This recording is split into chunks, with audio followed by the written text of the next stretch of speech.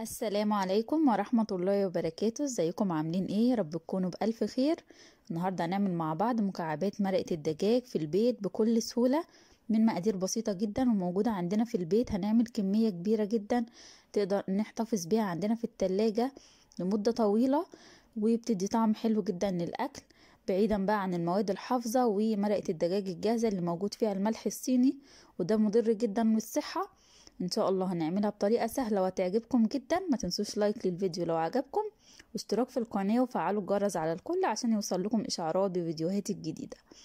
نقول بسم الله الرحمن الرحيم. معايا حلة على النار حطيت فيها معلقة واحدة بس من الزيت وبعد كده نزلت عليها بقطع من البصل الأخضر وكمان جزراية واحدة آه متقطعة شرايح وقرنين من الفلفل الأحمر البلدي متقطع مكعبات كده وكمان طماطمية كبيرة متقطعة مكعبات. وابدأ أشوح الخضار ده آه لمدة دقيقتين كده يتشوح كده وياخد آه ويطلع يعني يطلع العصارة اللي فيه الطماطم كده تطرى شوية. يعني ياخد معانا تشويحة كويسة. تمام كده؟ نقلب فيها بقى كده كويس. خلي بالنا عشان ما يتحرقش أو حاجة. وبعد كده معانا آه شوية من الكزبرة والبقدونس المتقطعين قطع صغيرة. ولو في كرفس كمان نفضل كمان آه كرفس. كده عدى تقريبا حوالي دقيقتين والطماطم طريت معانا زي ما أنتوا شايفين كده واتهرت. هنزل بقى ب آه تقريبا مش يعني نص حزمة أو أقل من نص حزمة من الكزبرة والبقدونس المتقطعين. ولو في كرفس طبعا هتزودوا كرفس برضو بيدي طعم حلو مع مع الخليط ده. نديهم بقى تقليبة واحدة كده بالشكل ده كده.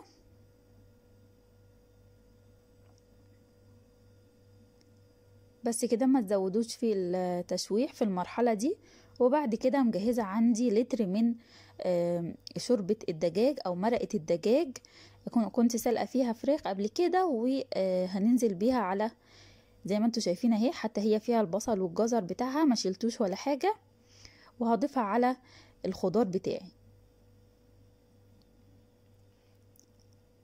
نديهم بقى تقليبة كده مع بعض وبعد كده هغطي الحلة بتاعتي دي وهسيبهم مع بعض على النار لمدة نص ساعة على نار هادية لحد ما ألاقي مكعبات الجزر والخضار اتهروا خالص في في الشوربة واستووا. تمام كده؟ طبعا هتتكثف جدا وهتقل للنص. الكمية بتاعتها كمية الشوربة هتقل للنص وبعد كده هنشوف هنعمل إيه مع بعض. زي ما أنتوا شايفين كده بقى عدى نص ساعة الخضار استوى تماما وطري زي ما أنتوا شايفين كده وكمان الشوربة اتكثفت أكتر وقلت هاخد بقى الخليط ده كله مع بعضه هضربه في شفشق الخلاط وهنعمه كويس جدا. بعد كده نفس الحلة ما غيرتهاش حطيت فيها خمس معالق كبار من الزيت وهنزل عليها دلوقتي بخمس معالق كبار من الدقيق. الدقيق أو أو الطحين.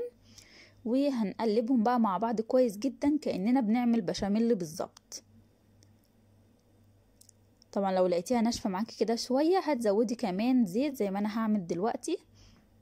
هزود شوية صغيرين من الزيت.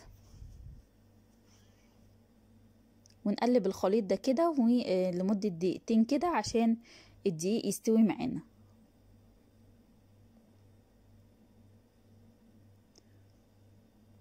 دلوقتي بقى هبدأ أضيف التوابل. التوابل بقى اللي بنستخدمها هنستخدم كمية توابل محترمة لأن هي دي اللي هتديلها الطعم الحلو بديل عن المرقة اللي بره أو بديل عن الملح الصيني اللي بيحطوه في مرقة الدجاج الجاهزة.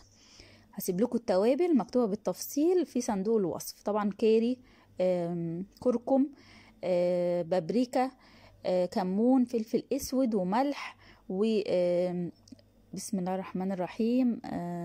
حبهان مطحون وكمان رشة من جوزة الطيب. يعني كمية توابل محترمة. هسيبها لكم بالتفصيل في صندوق الوصف. حطيت إيه بالظبط؟ تمام كده؟ وهنقلبهم مع بعض كده. وبعد كده ده خليط الشوربة اللي أنا ضربته في الخلاط. هنزل عليه بال على الخليط دوت. وبعد كده هستخدم المضرب عشان أفك الخليط. وأدمجه كويس جدا بالمضرب اللي هو اليدوي العادي. نقلبهم كده كويس جدا بالشكل ده كده لحد ما يتلموا معانا ونلاقيه بقى قطعة واحدة كده نلاقي الخليط بتاعنا ده بقى قطعة واحدة كده وملموم معانا. الموضوع سهل جدا وبسيط وما بياخدش وقت خالص.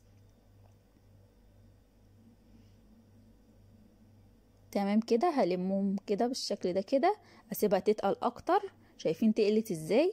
دلوقتي ده عندي صينية بايركس دهنيها بس بدهنة بسيطة بالزيت ونزلت عليها بالخليط بتاعي بعد إيه ما جمد خالص زي ما أنتوا شفتوا كده.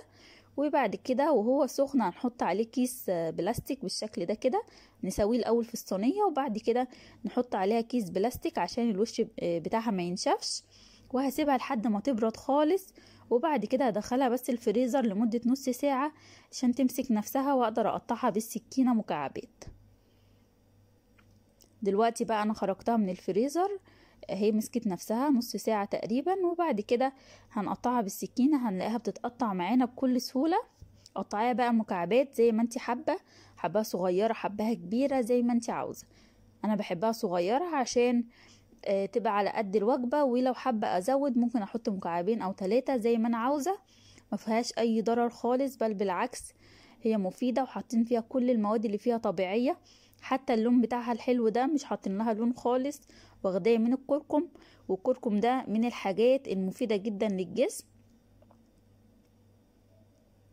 هقطعها بقى مكعبات كده زي ما أنا حابة.